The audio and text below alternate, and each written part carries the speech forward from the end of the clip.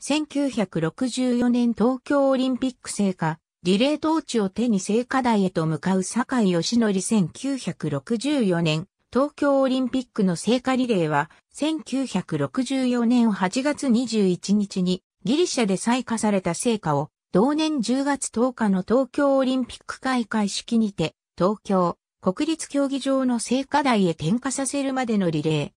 聖火はギリシャからアジアを経由して、当時アメリカ合衆国の統治下にあった沖縄に到着し、沖縄からは鹿児島、宮崎、北海道に運ばれて4つのコースで全都道府県を巡った。聖火リレーの最終走者は、1945年8月6日の原爆投下の日に、広島県で生まれた青年が務めた。1964年8月21日にギリシャのオリンピアヘラ神殿で採火式が行われた。その後、アテネ、イスタンブール、ベールート、テヘラン、ラホール、ニューデリー、ラングーン、バンコク、クアラルンプール、マニラ、香港、台北、沖縄と第二次世界大戦で日本軍がそれらの地域を植民地として支配していたヨーロッパ諸国やアメリカの軍隊と戦った地域を通り平和のための聖火リレーを印象づけた。アテネから沖縄までの各地は日本のフラッグキャリアの日本航空のダグラス DC-6B コンベア 880M によって運搬された。9月4日、スケジュール通り聖火は、香港の慶徳空港に到着したが、その深夜に、香港を直撃した台風17号により、空港に停泊していた特別機は、補助翼の一部が破損して、飛行不能となった。香港ではこの台風により38人が死亡。聖火皿は、その後オークションにかけられ、売り上げが犠牲者の支援に充てられたという。羽田から補修部品を積んでやってきた大大機に成果を乗せ、6日朝、台北へ向けて出発しようとしたところ、この大大機もエンジントラブルを起こし離陸が中止された。さらなる遅延を避けるため、日本航空は定期便で香港にいた同型の飛行機を緊急欠航させ、成果の輸送に用いることにした。この措置により同日の離陸が可能となり、飛行機は予定より1日の遅れで台北に到達することができた。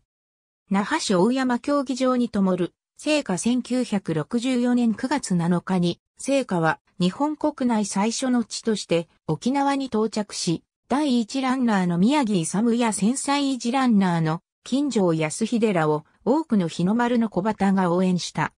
アメリカ合衆国の統治下の沖縄では日の丸は祝祭日以外は掲げられなかったが、聖火歓迎は日の丸の小旗で埋まった。沖縄からは日本国産旅客機である YS-11 聖火号で聖火が輸送され、鹿児島市、宮崎市を経由して千歳市へ向かった。この3カ所から4つのコースで46都道府県を巡る聖火リレーが行われ、日本オリンピック委員会の記録では4コースの地上リレー総距離 6755km、参加リレー走者は10万713名となっている。9月25日の神戸大阪間のルートは、台風20号の接近により、走者リレーが中止され、聖火は乗用車で輸送された。10月1日に西宮市教育委員会の配慮で走者を陸上競技場に集め模擬聖火リレーが開催されている。2020年の聖火リレーでは、リレーを再現する56年目のファーストランが企画された。10月7日から9日にかけて、東京都庁に到着した各コースの成果は、9日の夜に皇居二重橋前で集火式が行われた。オリンピックの開会式が催される翌10日、皇居前から国立競技場まで最終聖火リレーが行われた。聖火の最終ランナーは1945年8月6日に広島県三好市で生まれた19歳の陸上選手、坂井義則であった。原爆投下の日に広島市にほど近い場所で生を受けた若者が青空の下、聖火台への階段を駆け上る姿はまさに日本復興の象徴であった。東京オリンピック聖火統治。ありがとうございます。